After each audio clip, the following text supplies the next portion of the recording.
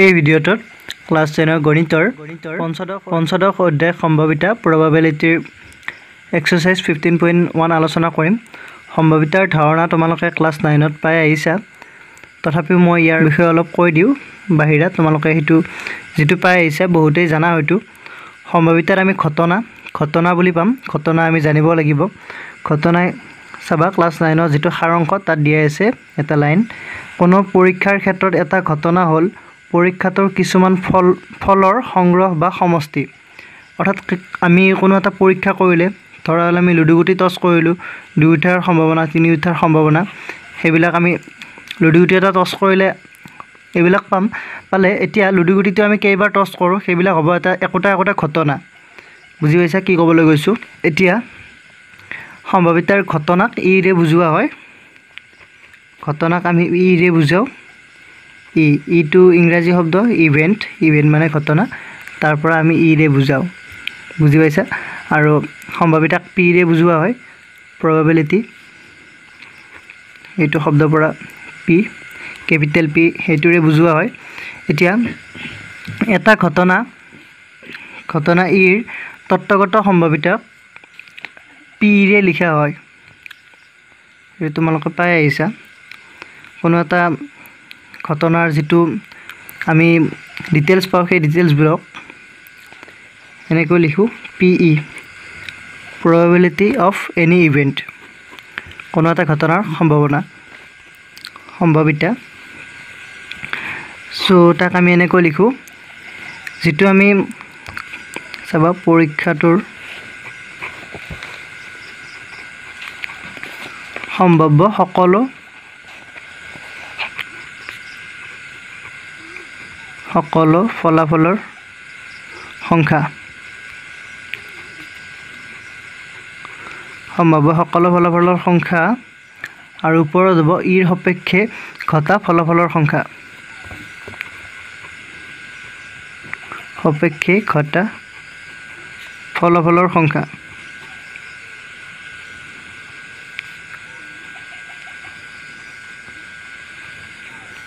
বুজি পাইছা? এতিয়া তাৰ বাবে এটা উদাহৰণ ল'ম তোমালোকে বুজি পাবা। এইটো হৈছে এইটো এটা সূত্ৰ বুলি ক'ব লাগিব এইটো আমি জানিব লাগিব কম্পালচৰি এইটো নাজানিলে একো নহ'ব বুজি পাইছা? আমি আৰু এটা কথা জানিব লাগিব প্ৰচেষ্টা যিটোক ট্ৰায়েল বুলি কোৱা হয় প্ৰচেষ্টা trial T R I L trial সেইটো তোমালোকে ক্লাছ নাইনত পাইছা নিশ্চয়। প্ৰতিটো যাদৃচ্ছিক পৰীক্ষাকে প্ৰচেষ্টা বোলে ট্ৰায়েল বোলে বুজি পাইছা? আমি কোনো এটা পৰীক্ষা কৰি চালোঁ। চ' সেই যিবিলাক পৰীক্ষা আছে সেইবিলাককে প্ৰচেষ্টা বুলি কোৱা হয় ট্ৰায়েল বুলি। ঘটনাটো বুজি পালা। ঘটনাটোক তোমালোকে চিম্পলি এনেকৈ ক'ব পাৰিবা এটা প্ৰচেষ্টাৰ ফলাফলক ঘটনা বোলে তেনেকৈও ক'ব পাৰিবা। এতিয়া এইটো সূত্ৰটো মনত ৰাখিব লাগিব P E probability of any event E মানে এটা ঘটনা বুজাইছে। আৰু পি হৈছে সম্ভাৱতা সম্ভাৱিতা বুজি পাইছা? ই ঘটনাটোৰ সম্ভাৱিতা। পি ই মিনছ এতিয়া পৰীক্ষাটোৰ সম্ভাৱ্য সকলো ফলাফলৰ সংখ্যা। আমি যিটো পৰীক্ষা কৰিছোঁ পৰীক্ষাটোৰ সম্ভাৱ্য ফলাফল। অৰ্থাৎ মই ধৰি ল'লোঁ এটা মুদ্ৰা টচ কৰিছোঁ কইন এটা। এটকীয়া কইন এটা টচ কৰিলে এফালে হেড থাকে আৰু এফালে টেইল থাকে। সেইটো আমি জানো হেড আৰু টেইল টেইল থাকিলে ইয়াৰ যিটো পৰীক্ষাটোৰ সম্ভাৱ্য সকলো ফলাফলৰ সংখ্যা যদি আমি এবাৰ টচ কৰোঁ এবাৰ টচ কৰিলে ইয়াৰ সম্ভাৱ্য ফলাফল কেইটা থাকিব? দুটা থাকিব নতুবা হেড হ'ব নতুবা টেইল হ'ব। হেড বা টেইল যিকোনো হ'ব অৰ্থাৎ ইয়াৰ যিটো সম্ভাৱ্য ফলাফলৰ সংখ্যা হ'ব সেইটো হ'ব টু। তাৰপিছত ইৰ সপেক্ষে ঘটা ফলাফলৰ সংখ্যা অৰ্থাৎ আমাক যদি সোধে হেড হেড পৰাৰ সম্ভাৱিতা কিমান? হেড উঠাৰ সম্ভাৱিতা কিমান? তেতিয়াহ'লে এইটো হ'ব ওৱান বাই টু অৰ্থাৎ গোটেই সম্ভাৱিতা আছিলে গোটাৰ সম্ভাৱনা আছিলে দুই। বুজি পাইছে? কি ক'বলৈ গৈছোঁ পৰীক্ষাটোৰ সম্ভাৱ্য সকলো ফলাফলৰ সংখ্যা। অৰ্থাৎ আমাৰ দুটা অপশ্যন আছিলে হেড বা টেইল পৰিব। সেইবাবে দুই হৈছে। তাৰপিছত হেড উঠাৰ সম্ভাৱনা। অৰ্থাৎ ইৰ সপেক্ষে ঘটা ফলাফলৰ সংখ্যা। ই ই আমাক সুধিছে প্ৰশ্নত যদি সোধে আমাক যে সেই দুটাৰ সম্ভাৱনা কিমান? ইয়াত ই ঘটনাটো হ'ব সেই দুটা বুজি পাইছা? চ' এৰ সপেক্ষে ঘটা ফলাফলৰ সংখ্যা হ'ব ওৱান। যদি তেলৰ তেলৰ কথা সোধে তেতিয়াও ওৱানে হ'ব কাৰণ তেলো এবাৰে উঠিব পাৰিব। হেড তেল ইয়াত দুটাই অপশ্যন আছে কেৱল। আৰু তেনেকুৱা ধৰণে তোমালোকে লুডুগুটি ল'ব পাৰিবা। লুডুগুটি ল'লে ইয়াত সম্ভাৱ্য ফলাফলৰ সংখ্যা হ'ব ছিক্স যদি দুয়োটাৰ সম্ভাৱিতা সোধে তেতিয়া ওৱান হ'ব। কাৰণ দুয়োটো এবাৰে উঠিব পাৰিব। যদি আমি এবাৰ টচ কৰোঁ ওৱান বাই ছিক্স হ'ব দুয়োটাৰ সম্ভাৱিতা। তেনেকুৱা ধৰণে। নিশ্চয় বুজি পাবা এইটো মনত ৰাখিবা। আৰু নেক্সট আমি জানিব লাগিব নিশ্চিত ঘটনা। আৰু অনিশ্চিত ঘটনা।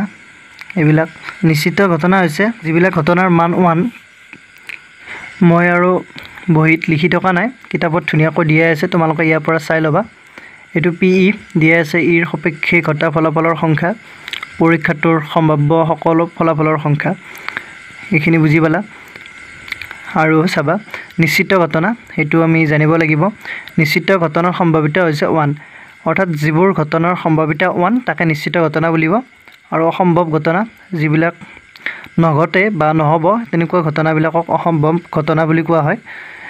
চ' অসম্ভৱ ঘটনাৰ যিটো সম্ভাৱনা আছে সেইটো জিৰ' তোমালোকে ডেফিনেশ্যনবিলাক ভালদৰে লিখি ল'বা। আৰু এটা ঘটনাৰ সম্ভাৱিতা।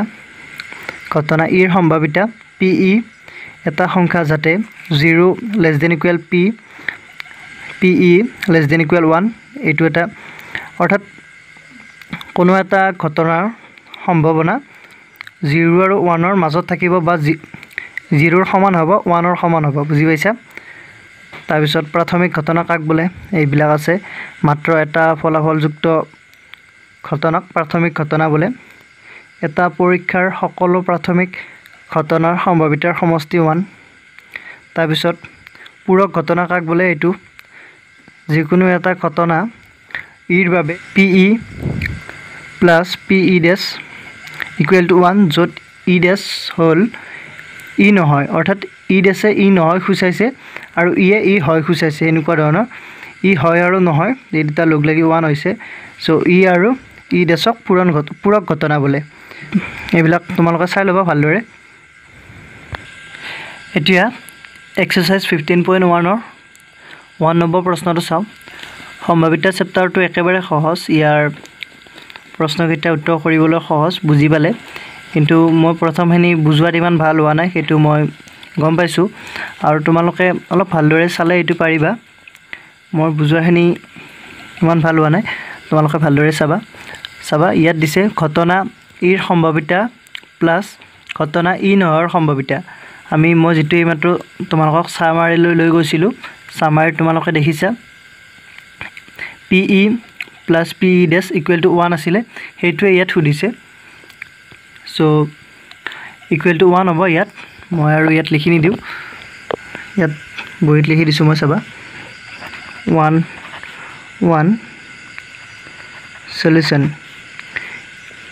one one বুলি লিখি দিলোঁ তোমালোকে ভালদৰে লিখিবা। তাৰপিছত দুই নম্বৰটো আছে কেতিয়াও নঘটা ঘটনাৰ সম্ভাৱিতা হ'ল। যিটো ঘটনা কেতিয়াও নঘটিব সেই ঘটনাটোৰ সম্ভাৱিতা নিশ্চয় জিৰ' হ'ব।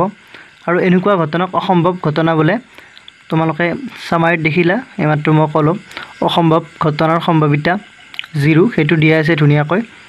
সেইবাবে এইটো হ'ব জিৰ' আৰু এনেকুৱা ঘটনাক অসম্ভৱ ঘটনা বোলে ওৱান টু চলিউশ্যন জিৰ' প্ৰথম অৱস্থাৰখিনি তাৰপিছত নেক্সট অসম্ভৱ ঘটনা।